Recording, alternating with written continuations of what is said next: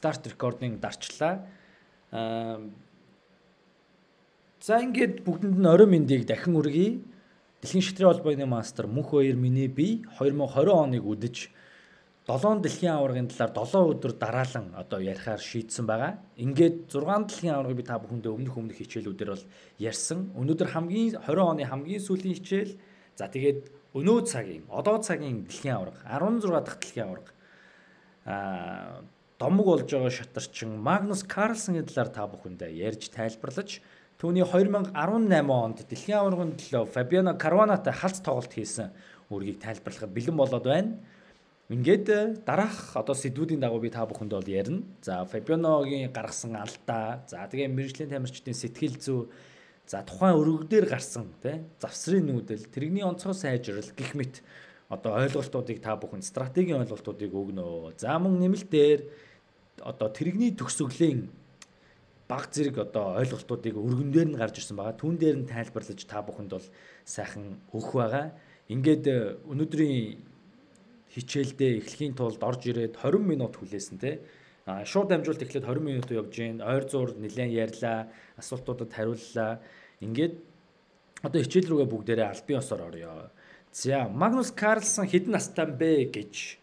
Тэгэхээр яг энэ жил 20 онд Карлсон 30 нас одоо зоглож байгаа. 1990 онд төрсэн Норвегийн тамирчин байна.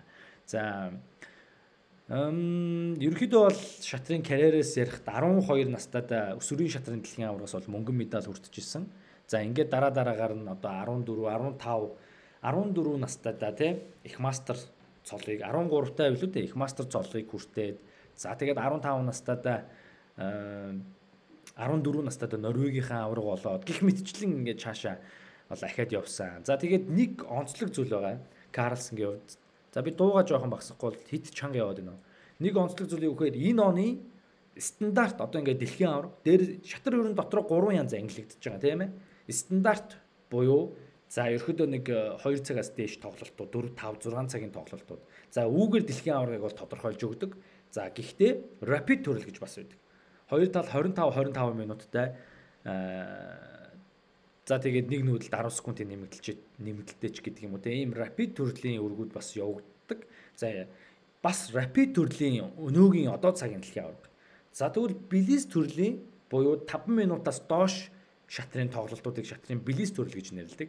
Тэгэхээр билис төрөлтийн бас өнөө цагийн дэлхийн аварга юм а. Тэгэхээр энэ цаг хугацаанд rapid, билис, стандарт төрөл бүгдийг нь классик төрөл гэж бас ярьдаг. Стандарт төрлийг бүх цолыг эзэмшиж байгаа түүхэн дэх одоо анхны тохиолдол бол байна. Тэгэхээр яалтчгүй Магнус Карлсон ямар супер байна, ямар олон талт одоо тоглох чадвартай байна. Хурданч тоглох чадвартай, удаанч тоглох чадвартай тий гэдгийг бол та бүхэн энхүү одоо цол гуншингаас нь бол анзаарж байгаа хаа. За окей. Ер нь бол бичлэг ямар байна? Жохон гацаад байгаа юм шиг надад санагдаад их юм. Жохон юу байна уу? Ингээд 2013 онд энэ этхийн дэлхийн одоо 15 дахь дэлхийн аварга Ушната Анандыг хожиж дэлхийн аварга хамгаалсан дэлхийн аварга тэтмийг бол анх удаага хүртсэн байгаа.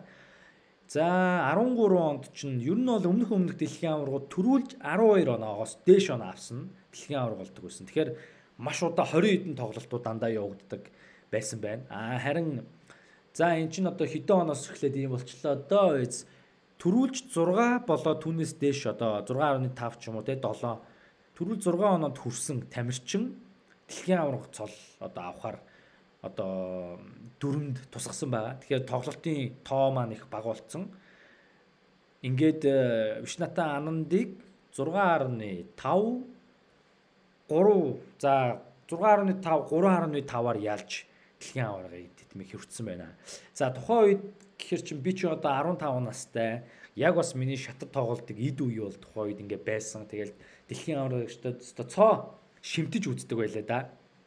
Вау, өстой тэр шууд лайв дамжуулалт яваал те. Орой минь гацалтгүй гоё вэ нөө, гацхгүй вэ нөө. Nice, nice, nice, nice. Аа За тэгээд шимтэж үзээл ингээл лайв нь үзээл дэлхийн аварга болоод ингээл шуугаал тухайн үед бол андыг бол илт давуу ялсан л та Анд өөрөө маш хүчтэй тамирчин те.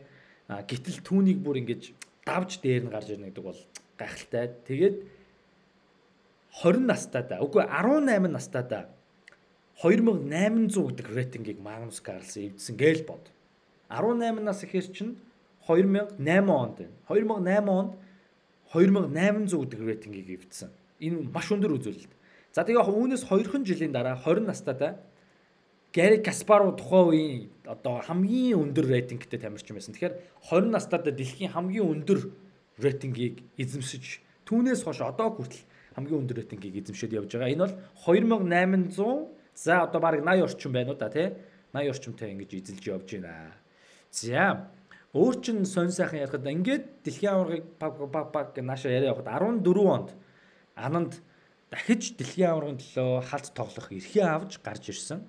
Ингээд Магнус Карлсентэй 14 онд дахиж тоглоод дахин ялагдсан. Тухайн үед бол 6.5 4.5 гэдэг одоо үзүүлэлтээр. Ерөн зүгээр би сайн мэдэхгүй байна. Зөвхөн миний бодол шүү заяа.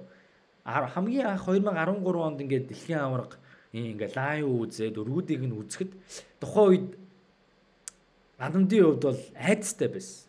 Би зүгээр тэгж дүгнэдэг. Залуу тамирчин, эрчтэй тамирчин гэдгээс нь айцсан одоо тэр шинж тэмдэг айгүй их харагддаг ус.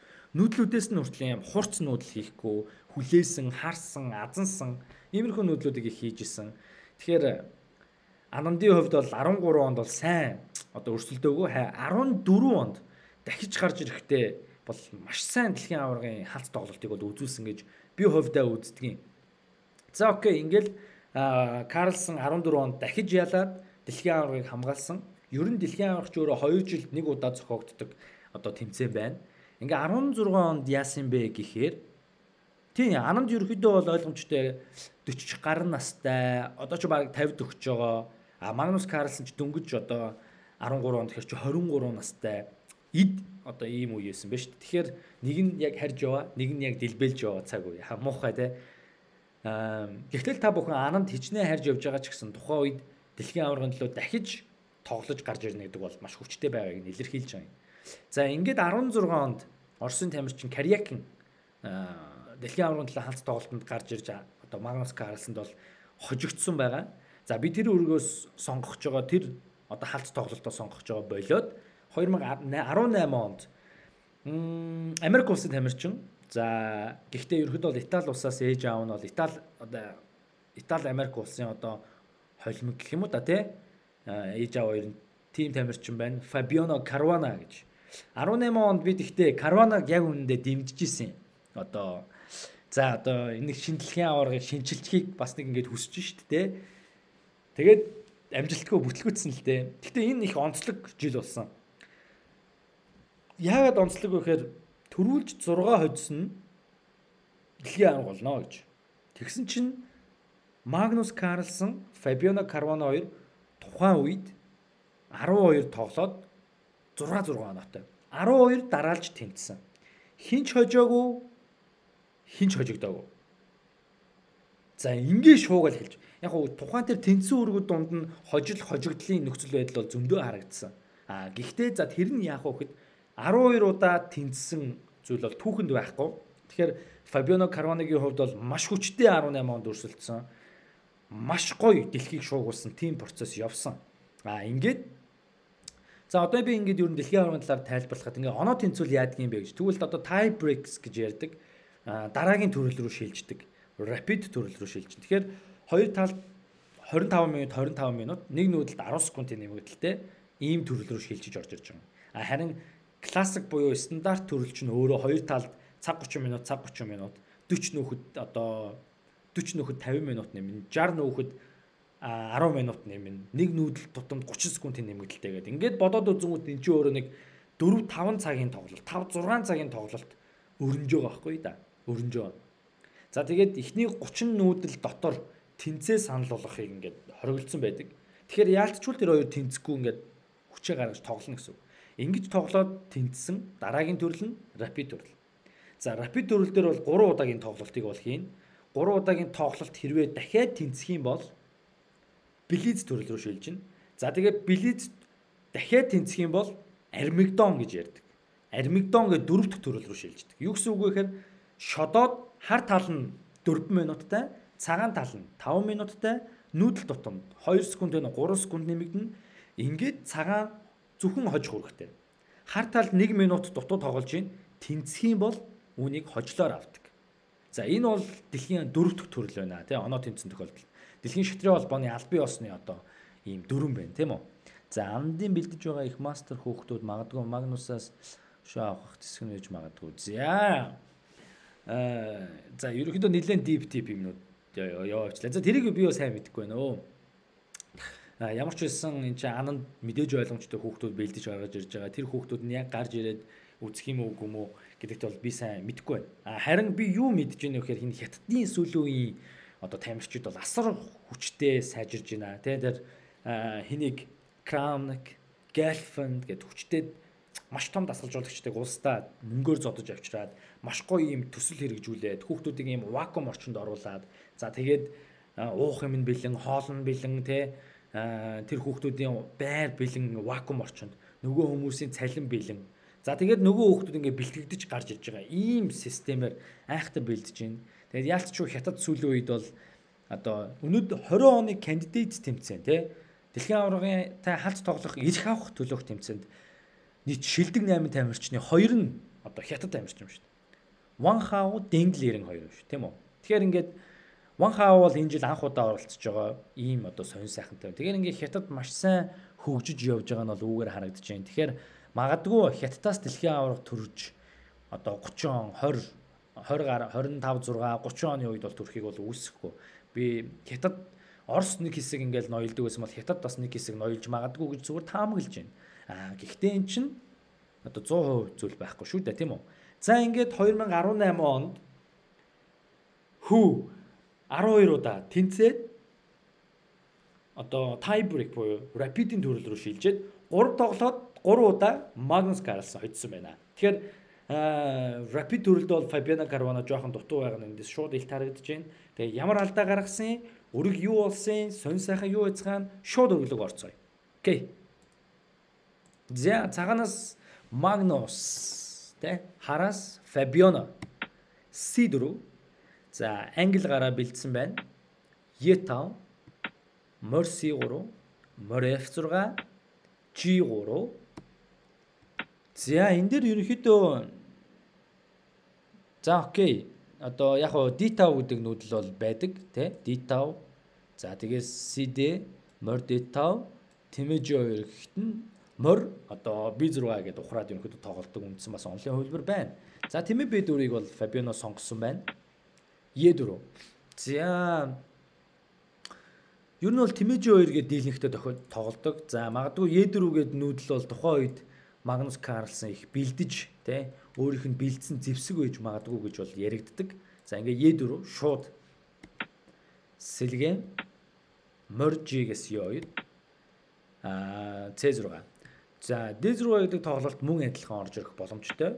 Хэрвээ ингэж тоглох юм бол за яг Тэмэж 2 а Мор C6 Сэлгэ А5 за тэгээд D3 Тэмээ тавилаа H3 G4 буудлыг хяналтандаа авч өглөө. Зүгээр магадгүй энэ хувилбар та нарт хэрэг болж магадгүй гэдэг үүднээс Мор D4 орохоор ноён H2 ингээд F4 гэж сайхан тоглоод явдаг. Цагааны хувьд бол нэг тийм муу зүйл байхгүй. Сайхан төв рүү тэгээ хитайхан ийм байрлал үүсэж байна. Хар талын хувьд ч гэсэн муу юм байхгүй харилцан тоглоомтой байрлал үүсэж байна. За ингэж явахаас боломжтой байсан. Аа Фабианогийн хувьд бол C6 нүүдлийг сонгосон байна. Тэмээж 2 A6. За C6 нүүдэл өөрөө э бета гэдэг л үндсэн задаргааг ерөөхдөө бол хийх гээд байгаа. Яагаад тэгэхээр энэ төвийн хүүг те ийшин салангад болгож гаргаж өгч байгаа ийм санаатай. За тэгээд ер нь бол D5, бета гэдэг буудлыг хяналтандаа авч яваанда D5 нөхөх ч үгүйсэхгүй тий. За иймэрхүү санаатай нүүдэл байна. За A6 А6 нүүдлийг бол жоохон хитрхи одоо удсан маш их бэлтгэл хангаж нүүсэн нүүдэл ч юм уу гэж ерөнхийдөө бол дүгнж байна. За сэлгээ бета. Аа. За. Аа D4. За бета гээд ороод ирэхэд нь D4. За энийг ямар одоо стратегийн дүрмээр тайлбарлах вэ гэхээр ингэж байна. Ер нь ийм дүрм байдгийг. Ноёны зүгүүрээр над руу довтлоод ороод ирэх, бэрсний зүгүүрээр над руу довтлоод ороод ирэх үед би төв задлах боломж байвал пак төвийн задаргаа хийх хэрэгтэй гэж. Тэгэхээр багцлаад ярих юм бол жигүүрийн довтлохоныг төвдөн гэдэг санаа байдаг. Жигүүрийн довтлохоныг төвдөн. Тэгэхээр төвийн задаргааг хийж өгж гин. За ингэж хийснээрээ а одоо зүгээр яг хуу D6 гэдээ явсан байна. А харин ЕД эдээд морд эд рүү эдээд БЦ гэдээ идэх юм бол Е5 гэдэг асар хүчтэй нүүдэл бас орж ирж байгаа цагаан талаас. За ингээд хичнээн цагаан хүү өгсөн ч гэсэн яагаад илүү болж байгаа вэ гэхээр дээгийн хүү хоцрогдол түрхэл юм бол солиод сольсны дараагаар А6, C6, C4 буудлууд өнөөхдөө бол салангад болж өгж байгаа ийм шин чанартай байна. За ер нь тэгээд цагааны хувьд бол орон зай илүү одоо маш аятайхан ингээд нүүх юм бол эн чинь өөрөө сул шүү дээ. Идээд идээд тэмээ дата үедээ цагаан илүү байрлал та. Ерөөд бол үүсэж байна. Тэгэхээр цагааны хувьд бол орон зай илүү За дээрэс нь боднууд нь ажиллагаанд гарцсан ийм нөхцөл байдалтай байна. За тэгэхээр энэ хүүг бол идэхгүй. D6. Фабиано хамгаалж өгсөн байна. Ингээд А3.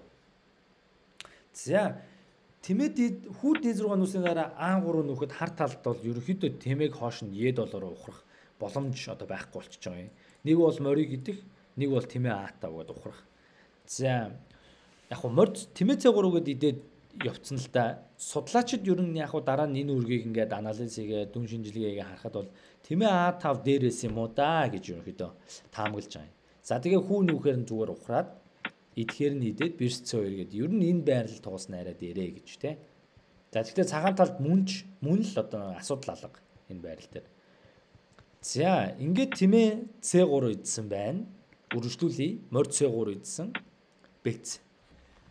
За энэ их одоо сонирхолтой нүүдэл орж ирсэн. Сонирхолтой ч юм шиг, муу ч юм шиг те. Аа би утгыг нь тайлбарлая. Хүү салангад болоод ороод ирж байгаа байхгүй юу? Өө за sorry. За уучлаарай манайхаа. Хүү салангад болоод ороод ирж байгаа юм. Нэгдүгээр тэгтээ бас нөгөө талаар цааны төвийн хүүг устгаж өгж байгаа юм нүүдэл байна. Аа яг хөө би хувьдаа байсан бол энэ нүүдлийг бол хийхгүй байх байсан.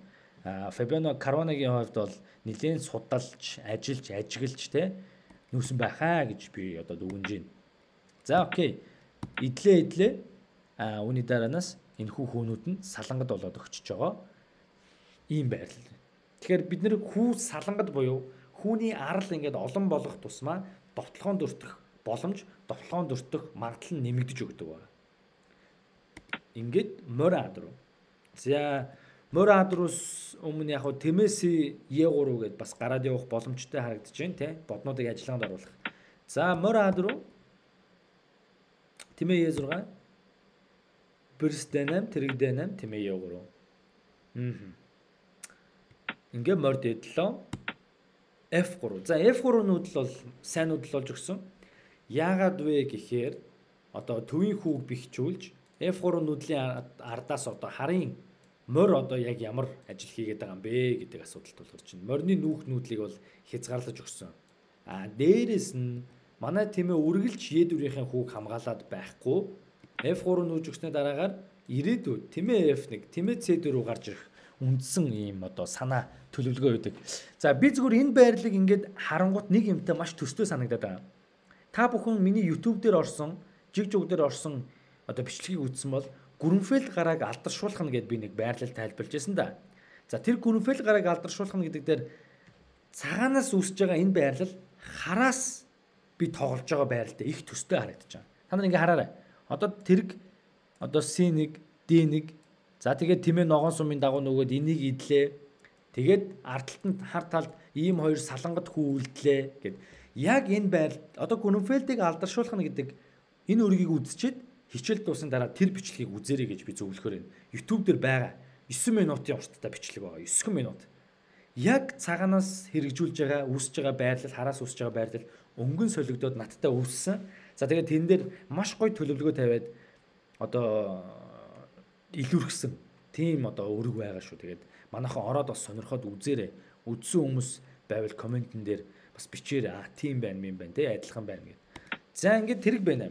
За би тэрэгний онцгой сайжил гэж бичсэн шалтгаан нь юу вэ гэхээр одоо Fabiano Caruana тэрэг B8 тэрэг B3 гээд онгорхой буудлын руу тэргээ шургаж орж өгж байгаа. За ингэж нүүсний дараа хар тал харьцангуй итвэх санаачлага бол нэмэгдэж өгч байгаа ийм нүүдэл болсон. За тэгэхээр бид бүхэн бас ингэж тэргийг сайжруулж байгаа юм байна гэдгийг хараад суралцаад авах хэрэгтэй байна. Тэргсээ нэг За тэрэг B3 тэрэг Y1. За тэр ногоон сумын дагуу гарч ирэх хүү гэдэг гэдэг байна. Мор Y8. За мор Y8-аас өмнө яг хөө илүү тэрэг B8 гэдэг нүүдлийг бол бас байсан гэж тухайн үед бол үзсэн. Тэгээд яа сонирхъя. Тэгээд тэмээ F1 тавихаар C3. Аа хардаа. Хүүг зүгээр идүүлэхгүйгээр цагааны хүүг тасархаа болгож байна. Идлээ, идлээ. Хүүгээр идлээ.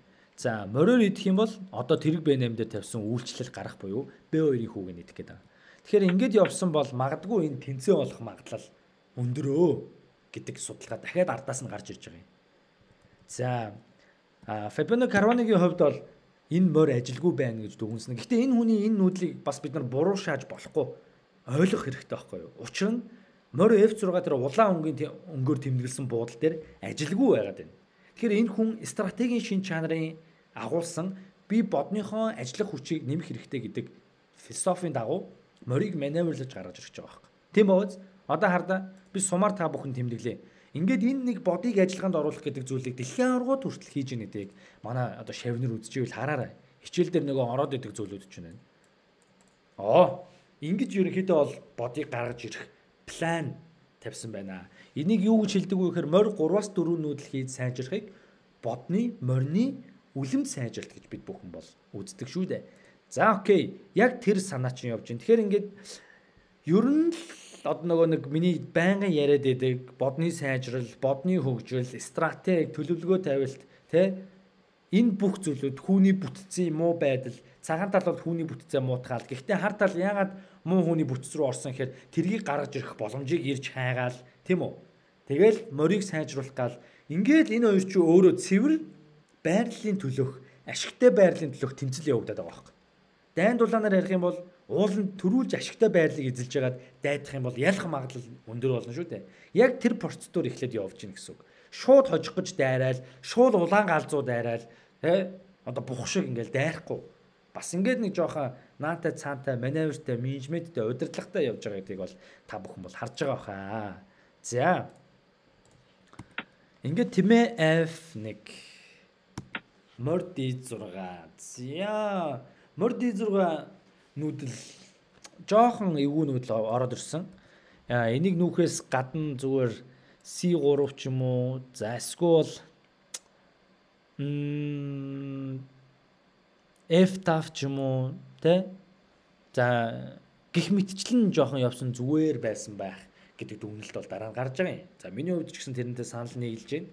Яагаад тэгэхээр тэрэг дээд зургаа гэхээр нэг баг зэргийн тактикийн шин чанартай нүүдлүүд ард ардаас ороод ирж байгаа.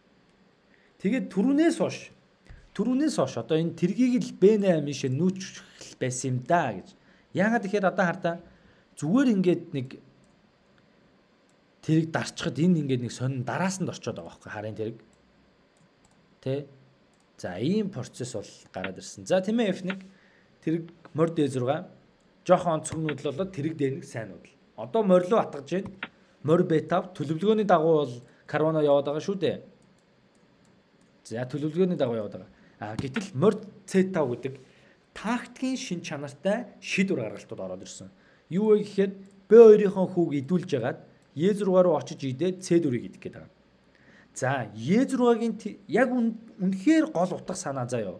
Цагааны гол утга санаа энэ улаанаар тэмдэглэсэн C4 дээр байгаа хүүг идэхтэй биш. Цагааны утга санаа одоо би цагааны утга санаа бол зүгээр л энэ тэмээг устгах. Е6 дээрх. Е6 дээрх тэмээ устчих юм бол морь хөдөлж чадахгүй тэрэг сул болчиход байгаа байхгүй хойно. Тэгэхээр ийм нэг дараасны одоо дараасны занал хийлэл дараасны одоо нюанстай ийм байрлал үүсэж байгаа байхгүй. Тэгэхээр ингэж одоо бид нар шатар анх ингээд сураал явж байхдаа нев шаг дараас за тэгээд нэв шаг дараас гих мэтчлэн иймэрхүү сэдвүүд үздэг шүү дээ. Нэг нүүдлийн бодлого, хоёр нүүдлийн бодлого, гурван нүүдлийн бодлого, дөрв тав комбинацийн төрлийн бодлогууд дээр дараас гэдэг санаа маш их орж ирдэг. Тэгэхээр тэр ойлголт хүртэл айл шатрын дэлхийн аваргуудын хооронд хүртэл ингэж гарч ирж шít. Тэгэхээр ийм нэг жоохон эвгүй дараасанд бол Фабиано Карвано бол ороод өгсөн байна. За ингэж хөрвүүлээ. Тэрэг би хоёр угаасаа одоо no way те сонголт байхгүй. Яагаад тэгэхээр тэрэг B8 нүүхээр E6 идээд FE тэгэхээр нь тэрэг D7 гэдээ очиод идчих гээд байна. За. Тэрэг B2 морь E6 морь E6 аа тимээс идрүү. Тимээс идрүү. E6-гийн хүн дээр очиж дуулаад D7-г идэх гээд байна. За хэрвээ энэ дээр одоо ноён F 7 гэд орсон бол тэмээ G5 гэж тавих гээд байна. Тэрэглүү атак өгж гин тэрийг хэрвээ зүхтах юм бол тэрэг дээдлөө гэд идэх нөхцөл боломж бол гарч ирж байна. За тиймээс морд дэдрүү гэж нусан.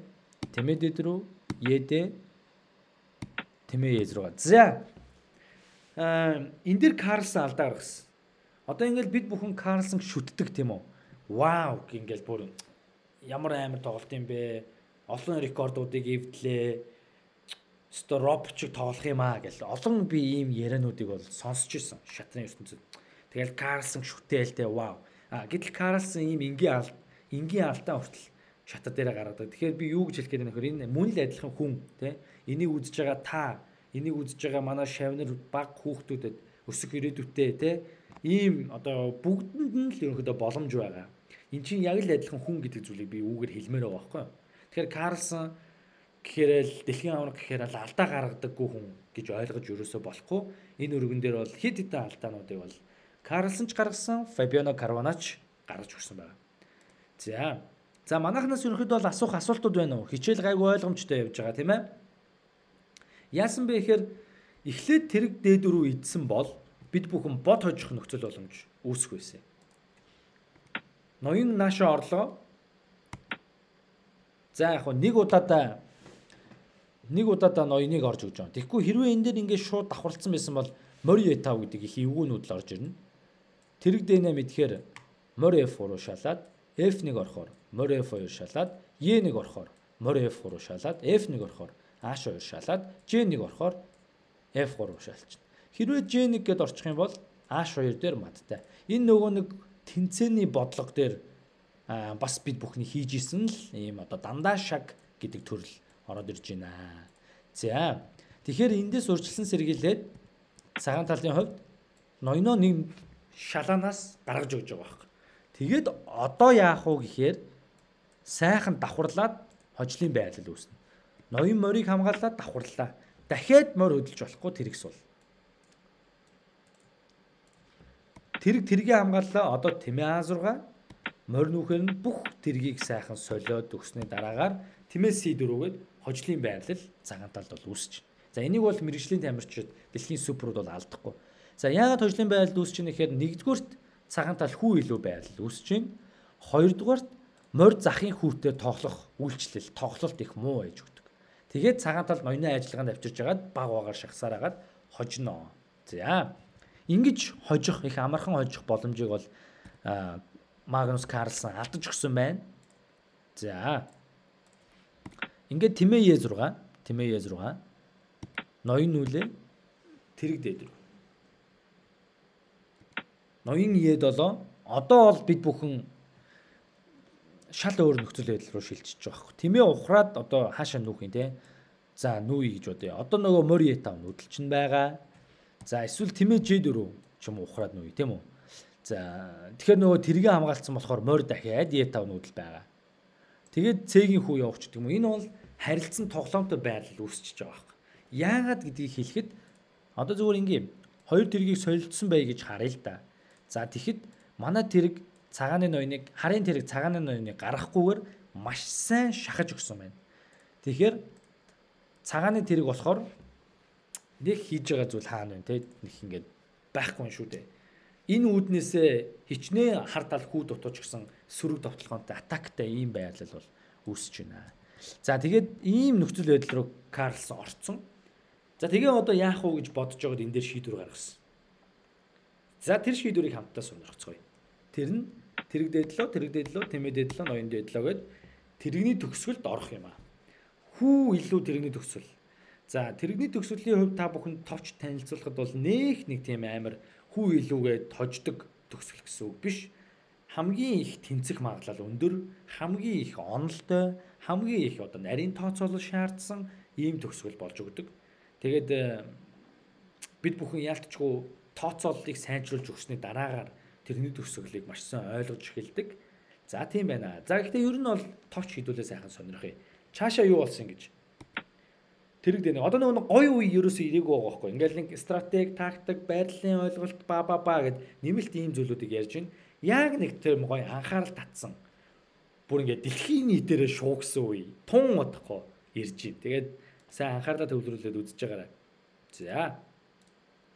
Бичлэг гацж гин үү манайхан? Гайгүй байгаа сте, гоё байгаа сте, юутай байцгаана комментэн дээр асуух зүйлүүд байна уу? Бичээрэй. За, ноён Е6 F4 C5 тэрэг D5 тэрэг D5 за тэргийг ямар ч байсан цагаан тал Магнус Карлсон бол ажиллагаанд оруулж өгж те. За тэрэг C2 H4 C4 F5 цод ноён F6 тэрэг C5. За би энэ дэр та бүхэндээ нэг дүрмийг бол хэлмээр байна. Юу вэ гэхээр бид бүхэн өөрийн ч хүү вэ нү, эсрэгтлийн ч хүү вэ нү тэргийг хүүний ард талд байрлуулах хэрэгтэй. Одоо бид нар Магнус Карлсонгаас хардаа яагаад ерөөхдөө шууд ард талд нь байрлуулсан гэхээр D850 C850 гүү гэхээр 5 дугаар игнэгээр харын ноёныг одоо бас урагшаа нэвтрэх боломжгүй тий гарах гарцгүй болгож өгч байгаа. Давхар ингээд хойно байрлахтаа харын ноёныг бол хязгаарлаад байна шүү дээ. Тэрийг ажиглалт сайн хараарай. Ингээд аш тав. За ноён F1. За энэ дээрээс би жоохон ярмаар байна. За нэг дан хүү дан хүү те ганцаараа тэрэг ноёнтойгоо үлдэхэд бол хожиж чадахгүй. Тэрхтээ талыг. Яаж хийж байгаа л тэр дунд тэнцээ байдаг. 95 99% магадaltaй тэнцээ. За харин тэрний төгсөлд ямар үед хожих боломж бас байдаг вэ гэхээр холбоо хоёр хөө. Нэгдүгээр ойлголт. За хоёрт нөгөө тэрэг чинь одоо хойноос нь байгаад байна. А харин цагаан талын хар талын хувьд тэрэг хичнээн хүүнийхээ урд байгаа ч гэсэн маш том нэг хүчин зүйлийг хийж байгаа. Нэг ажлыг хийж байгаа. Тэр бол цагааны ноёныг гаргахгүй гэж хорж өгж байгаа байдал. Энэ харын тэрэгний хамгийн том үйлчлэл. Дээрэс нь нөгөө миний яриад байдаг зүйлүүд шүү дээ. Бобби Фишер дэлхийн амрагын өргөн дээр яригдсан зүйлс.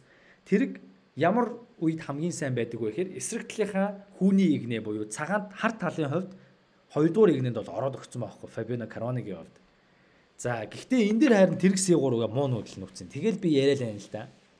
Тэгээ ноён G2 гээд стон нэрээ энэ ноён бол ингээд нэг амьсгаан авч гарч ирж байгаа байхгүй бүр ингээд freedom те мэдрэмж мэдрээд эрх чөлөөтэй мэдрэмж мэдэрч гарч ирж байгаа.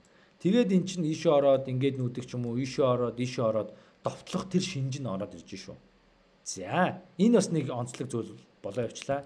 За харин яах вэ би гэхээр тэрэг C3 гэдэг нүүдэл байсан. Тэгээд ноён дөхөөд ирэхэд нь тэрэг А2 тавиад яах ч байгаа гэдгийг бол Яах ч байгаа гэдгийг та бүхэнд хэлэхэд за тэрэгсээ 3 нөхөд хар тал яах вэ? Та бүхэн нэг бодоод үзүүлээрэй. Хар тал яах вэ? Комментэнд бичээрэй.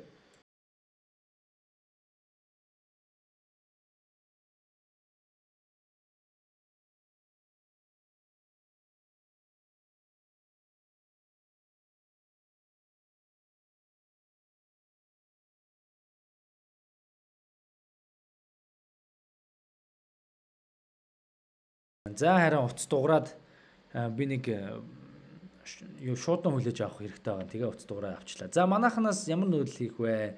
Одоо яагаад хар тал сая хүүгээ өгцөн бэ? Хардаа. Тэрэг А2 нүгэд хүүгээ өгцөн. За энийг юу гэж бодож байна? Ой гацаагүй үстэй те. Окей. Манайхан комент хэсэг дээр бичээрэй. Гацаагүй байх гэж найдаж байгаа шүү. Сая хар тал хүүгээ сулгочлоо. Фабиано Карвана Үгүй энэ бол завсрын хувилбар явж байгаа шүү дээ. Үндсэн тоглолт биш. Карвана бол тэрэг C3 гээд нүгээд цагааны ноёныг ингээд гоё гаргаад өгцөн. А ер нь бол C3 гэдэг нүүдэл бол байсан гэж үзэгдэж байгаа. Тэгээ ноён Е1 орохт нь тэрэг А2 их боломжийн нүүдэл юм байна шүү. Хүүгээ хамгаалж идэх гэдэг. За тэгээд тэрэг C3 идэхээр нь за үзүүлээ. Ноён Е5. Тэрэг C4 гэх юм бол идэнэ. За тэрэг Е3 гэхээр нь ноён D4. Тэрэг Е2 гэхээр нь идлээ.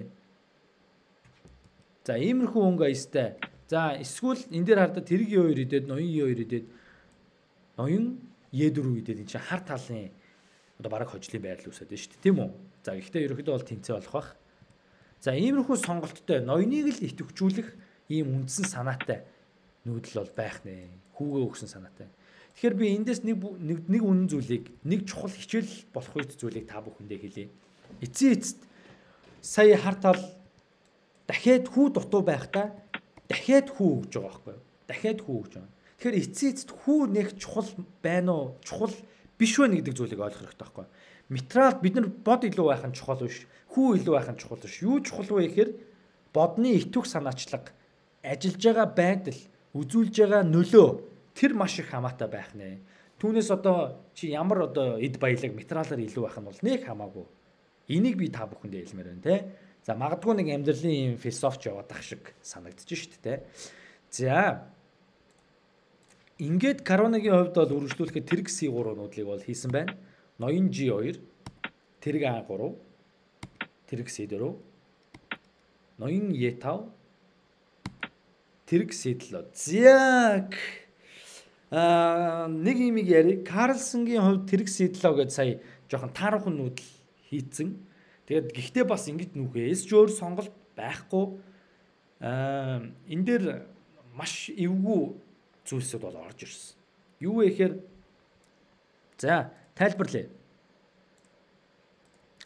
Аа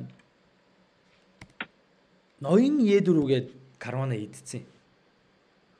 Энэ дээр хар тал яаж тэнцэх байсан бэ гэхээр хардаа яг ингээл би одоо энэ лайвыг нь бүр яг шууд үзчихсэн байхгүй юу? ингээ бичлэн гарцсан. Шууд лайв явж байгаа. Тэгээд нөгөө DGT бордон дээр тоглож байгаа шүү дээ ойлгомжтой. Шууд өргөн цацагдж байгаа. Тэгээд тэн дээр нь шууд компьютерийн анализ биднээс бас ингээ харагдаж байгаа. Ингээл харсан чинь пал гээл одоо ингээд одоо жишээлбэл тэрэг цэдлоо гэл Магнус Карлсон за тэнцээ олчлоо доо гэж бодоод нүүж байгаа байхгүй. А гэтэл ноён Е4 асар муу нүүдэл хийгээд Фабиано Карвана хожигдсон. Яагаад тэгэхээр Фабиано Каруна ингэ бодсон байхгүй юу?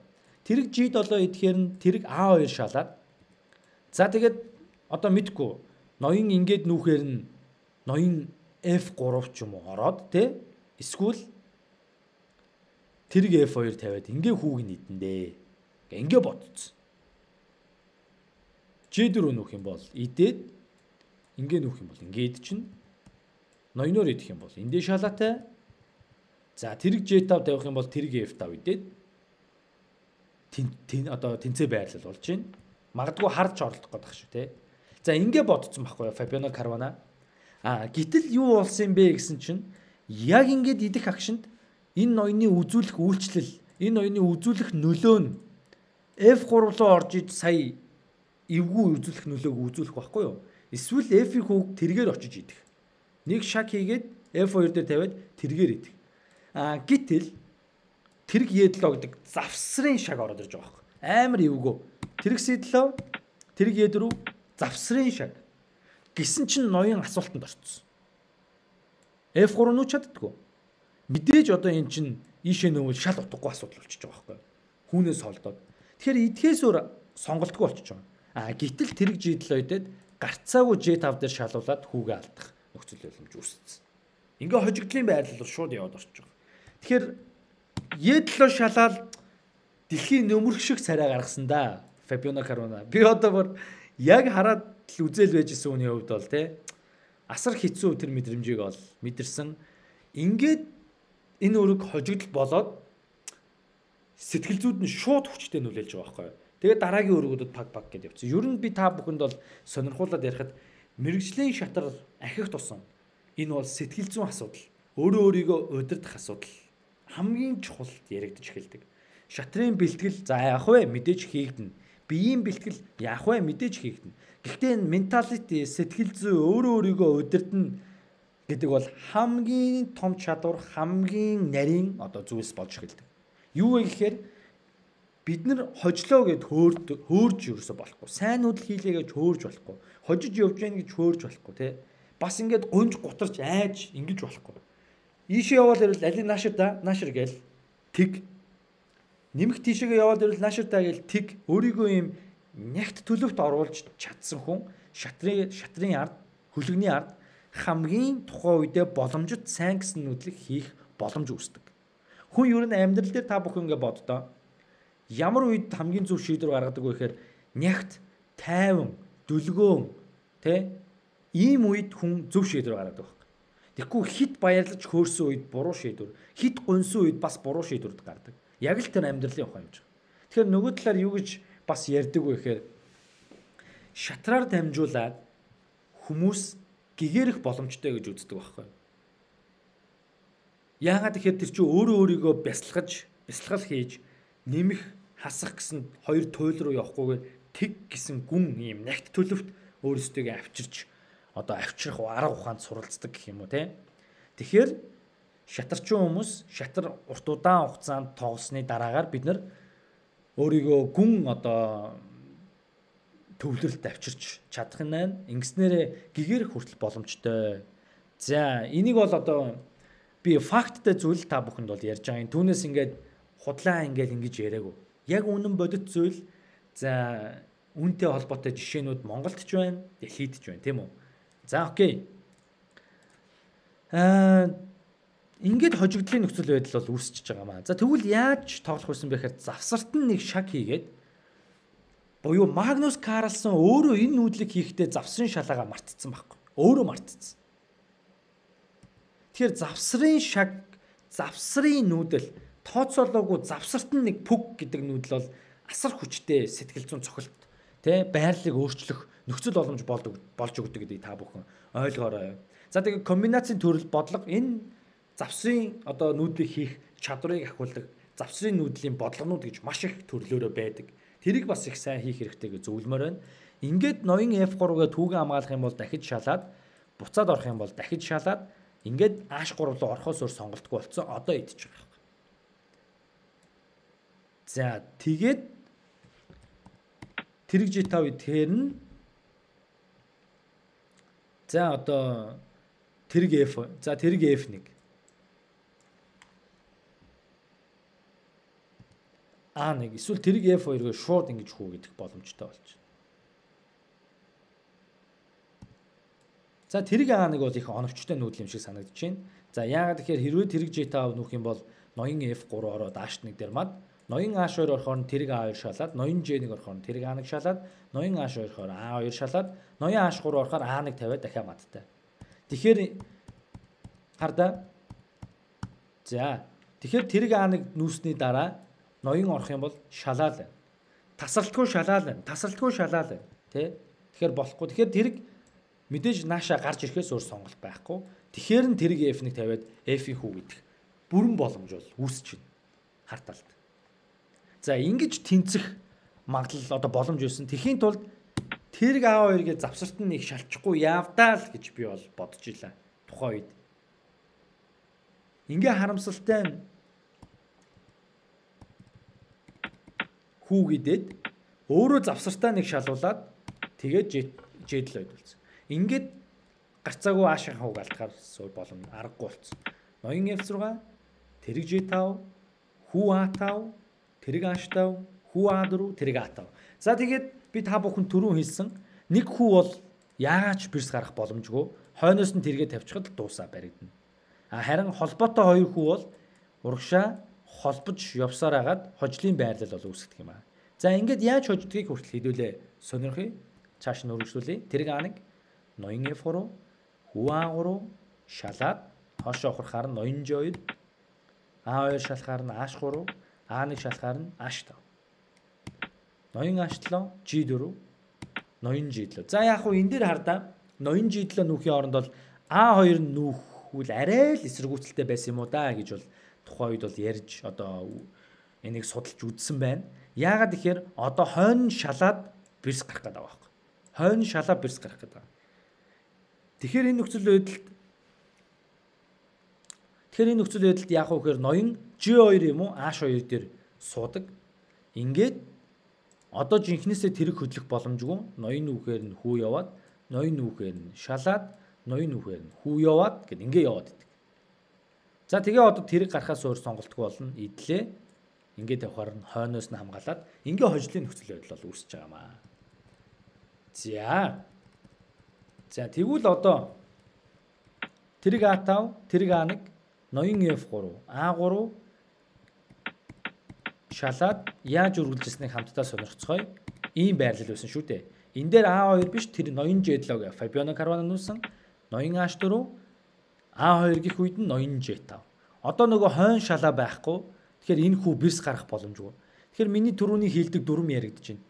Хүүний ардаас тэргийг байрлуулаа гэж энэ санаа явж байна. Маш одоо өндөр үйлчлэл чухал одоо зүйлсийг харуулдаг нь эндээс харагдаж байна. Ингээ ноён үлээ H6 одоо эн чин шалаад ноён ороод H7 гээд хожлын байрал үүсгэх гэдэг учраас тэрэг бэ нэг шаг хоош нь оруулаад ийдсэн. За бас их зэвүүн. Эн чин бас хардаа шалахгүй хэрвээ идэх юм бол манайхыг шалаад аа ингээд орохоор нь орох ч гэдэг. Яг хөө тэгээд хожихгүй л дээ ингээ шалуулаад хамгаалт нь. Гэхдээ л нэг юм жижиг зүйл явж байна. Тэгэхээр энэ дахиад хүү идэхийн оронд тэрэг аадлаа шаг бол завсын шаг юм аа. Тэгээ ноён ухарлаа аа хоёр ирлээ. За ингээд энэ бол хожлын байрлал бол үүсээд цагаатал бол илт хожсон. За ингээд Магнус Карлсон бол 12 э, тоглож 12 тэр хоёр маань хоорондоо тэнцсэн. За тэнцээ хийсний дараа 3 удаа 25 минутаар тоглоход Карлсон бол 3-гоо хожиж дэлхийн аварга хамгаалж үлдсэн. Ингээд Магнус Карлсон үндсэндээ 13, 14, 16, 18 дөрвөн удаа дэлхийн аваргыг одоо дэлхийн аваргын талаа халт тоглолтод бол яллаа. Тэгээ 20 онд бол 5 дахь тоглолт маань байх ус маань хоошлогдоод 21 онд болцсон байгаа. За окей. Э бид бүхэн өнөөдөр Магнус Карлсон хэрхэн дэлхийн аварга болсон талаар тий бас их сонирхолтой өөрийг сонгож үзлээ. Энэ өрнөөс та бүхэн маш их зүйлийг ойлгосон байх гэдэгт бол би итгэлтэй байна тэрний төгсгөл энэ ойлголтыг авлаа, завсрын нүүдлийн энэ ойлголтыг авлаа, тасархай хүний ойлголтыг авлаа, морины үлэм сайжрал, тэрэгний онцгой сайжрал гих мэтлэн зүйлсүүдийг бол авлаа. За ингээд эцэст нь би та бүхэнд нэг зүйлийг ярьж өгөөд өндөрлмөр байна. За тэр юу вэ гэхээр Магнус Карлсенгийн тоглолтын арга барил бас их олон хүн хэрэгтэй баг. Илүү за энэ аа Каспаро бол Магнус Карлсенд бол нэг 2 жилийн хугацаанд бол дасгалжуулагч хийж исэн. За тэр оныг ярих юм бол 2009 10 11 он. За би бол тэгж санаж байна. Нэг 2 жилийн хугацаанд дасгалжуулагч нь хийж явах үед Карлсон одоо нефт шуфт мэдж байгаа хүн шүү дээ. Ерөнхийдөө дасгалжуулагч хүн гэдэг бол шавийг бол нефт суфт одоо шуфт мэддэг ийм хүн байдаг. За тэгээд э, дүгнэхдээ Карлсон бол те байгалийн тоглолт бол Карпов шиг те Капапланка шиг Смислов шиг их мундаг. Харин тактикийн тоглолт нь бол Fisher шиг за тайл шиг Fisher тайл гэхээр та бүхэн бол шууд ойлгож байгаа доо. Fisher шиг тайл шиг за тэгээ бас над шиг гэж хэлж байгаа Каспаров. Ийм хүчтэй тактикийн цохилттой ийм тамирч юм аа гэж үнэлэн дүгнж байгаа. За окей. Тэгээд 23 э, наснаас одоо 7 жилийн хугацаанд дэлхийн аваргын тэтмийг бол эзэмшиж байна. Орчин цагийн үед одоо цагт бусдаасаа их тасархаа байна гэдэг бол яалтчгүй энэ бол гоц гойд байна. Яг тэгэхээр орчин үед шатар улам хөгжөөд маш бүгд л ийм зэрэг бүгд л сайн, бүгд л хүчтэй, бүгд л бэлтгэл өндөр, бэлтгэл бүгд л сэтгэл зүйн өндөр ийм нөхцөл байдалд компьютер маш их хөгжсөн нөхцөл байдалд тэргүүлж явна гэдэг бол өөрөө яалтчгүй суперийг бол илэрхийлж байгаа маа. За тэгээд нөгөө талаар би манай хүн бол хөл бөмбөгт их дуртай. Яагаад тэгэхээр хөл бөмбөг өөрөө битүү стратеги тактик агуулмжтай байдгаа гэж хүртэл бол бас одоо үздэг. За тэгээд нэг гоё зүйлийг хэлэхэд гоё зүйл яриад дуусгая. 2013 онд дэлхийн аварга яг болцоод Магнус Карлсон ингээ буудлын руу алхаа явж байгаа байхгүй. Алхаж явж байгаа ингээд тэр чинь ингээд сэтгүүлчээд камер ингээл ер нь ингээл юмнууд даган дасгалжуулагчтайгаа явна ингээд яг дэлхийн аварга болцсны орой ямар мэд яг тэр чинь ингээл би ингээд үнэхээр болчлоо гэж үү? Би болчлоо гэж үү гэсэн ийм мэдрэмжийг ингээд авсан байгаа байхгүй. Тэгээд энийгээ барьж чадаагүй ямар үйлдэл гаргасан бэ гэхээр ингээд буудлын руугаа ингээд алхаа явж идэл ингээд хажууд нь бассейн харагдаж байгаа байхгүй. Тэр зоч буудлынх нь. Тэгээд бүр ингээд үнэхээр тэр бассейн руу өсмөр өсрмээр санагдсан гэж байгаа байхгүй. Тэгээд шууд бассейн руу өсөрсөн. Тэгэл тэр чинь бүх хувцастайгаа цомоо байраал ингээд нороол те. Тэгэл хорилоо ингээд эндээс юу харагдаж байгаа юм бэ гэхээр ямар их тэр одоо гоё мэдрэмжийг одоо тэр дотор нь байсан бай тэр гаргаж чадахгүй ус руу өсөрж штэ те бассейн руу өсөрж. Тэгэж ерөнхийдөө бол тэмдэглэж ол тэр нь хүртэл ингээд од болцсон байдэн штэ. Бид бүх интернетээр хайх юм бол ингээд бассейн руу өсөрцөн норцсон өөрийнх нь ингээд зураг нь байдаг. Тэгээд э, гоё байна бас дэлхийн аваргуудын талаар яриад тэдгээрийн амжилт үзүүлээд од болоод ийм амжилттай түүхийг сонсоод би ч бас та бүхэнд энэ хичээлийг заах та. Маш их урамтай байна. Тэгээд яг л тэр Магнус Карлсон 13 онд тэр ус руу усарж явах мэдрэмжийг би 14 онд Сингапур улсад сонирхтын шатын дэлхийн аварга болохдоо мэдэрч исэн. Маш гоё тий тэр мэдрэмж бол маш гоё. Тэгээд би насан туршидтын яг энэ мэдээж ингэж өндөр класс тоглож одоо үзээгүй ч гэсэн тий сонирхтын дэлхийн аваргын тэр тэмцээнд тоглож дэлхийн шатрын холбооны мастер цолоо хүртэж явахдаа тодорхой хэмжээний энэ баяр баясгал тамирчин үений аз жаргал, уналтын үе бүгдийг л бас мэдэрч явж илаа. За за тийм байна. Ингээд та 2020 онд би та бүхэндээ 40 видео хичээлийн хичээлийг үнгүй жиг жуг одоо платформ дээр хүргэлээ. За тэгээд тодорхой хэмжээгийн те тал арай хүрэхгүй 10 хэдэн видео хичээлийг би YouTube суугатаа байршууллаа.